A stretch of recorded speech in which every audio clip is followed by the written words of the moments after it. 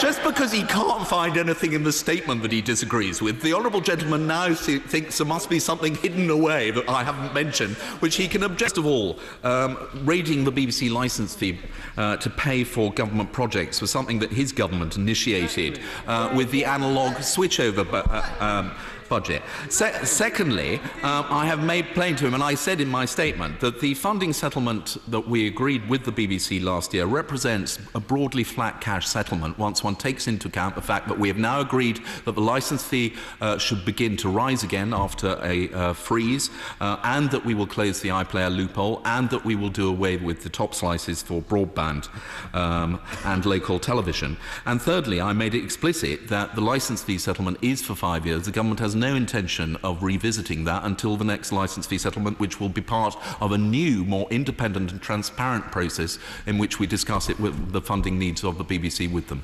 membership. Um, obviously, there will be opportunities for non-executive directors uh, to be chosen both uh, under the public appointments process by the government that I've set out, but also by the BBC board. And I'm sure that they will want to um, appoint the best possibly uh, best possible people uh, to um, represent every section of the community on the BBC board. Sir Peter Bottomley. I think the point about diversity, which I support, should be the target of getting inclusiveness so that people actually are drawn together. Can I say to my Rattle friend that on page 78 he mentions digital radio? Uh, if you'd like to come by bus or on the road anyway. Stressing the importance uh, of diversity uh, in all that the BBC does, that is not just about serving uh, BAME uh, audiences and ensuring there is greater representation uh, both in front and behind the camera, but of uh, gender equality, of disabled people. Um, it is for the BBC to draw up their own plans and to deliver that general public purpose that we have set out, but obviously they will also be held to account in the manner that they do so by Ofcom. But it is, it is not for us to tell the BBC precisely uh, how they should deliver that.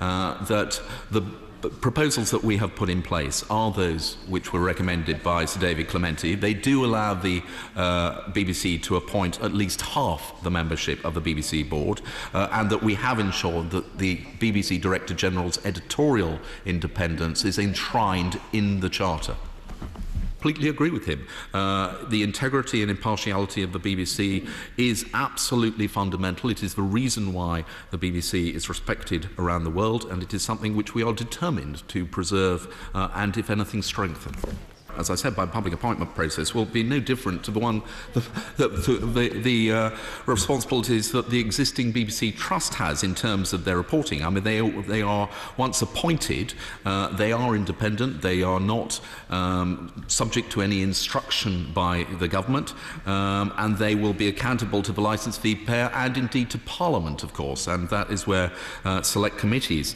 um, uh, have a very important role. I'd also just say to the Honourable Lady, I, I, I agree with her about the importance of not having any political pressure put on BBC employees, whatever uh, their level. And so I hope that she will join me in condemning the petition, which now has 15,000 signatures, which was initiated by the Jer Jeremy 4PM campaign, calling for the sacking of the BBC political editor because they didn't like one of the stories she reported.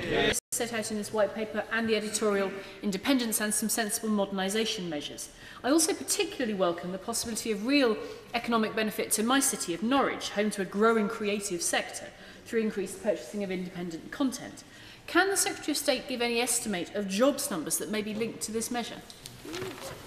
Um, I, I can't. I, I, first of all say to my honourable, to my honourable friend, uh, I imagine her, her city is not particularly happy today, uh, and I send my condolences on another, on, on another front for which I'm responsible, which obviously is sport.